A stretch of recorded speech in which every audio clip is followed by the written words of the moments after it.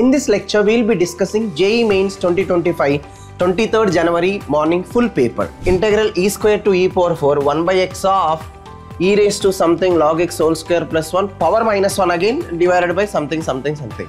See, the moment you see it is looking like in the most complex way.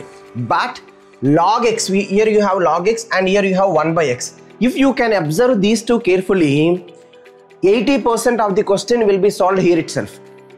See, just if you take log x is equals to t by using substitution method log x is equals to t, 1 by x dx will be dt now. See how the problem will be changed now.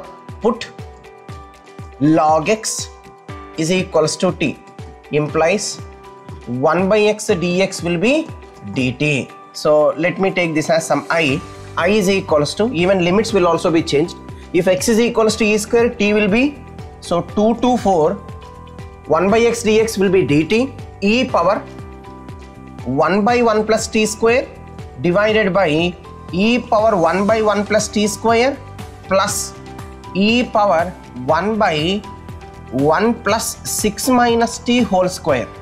Now what are the points of intersection of line and parabola? For that we are supposed to solve these two.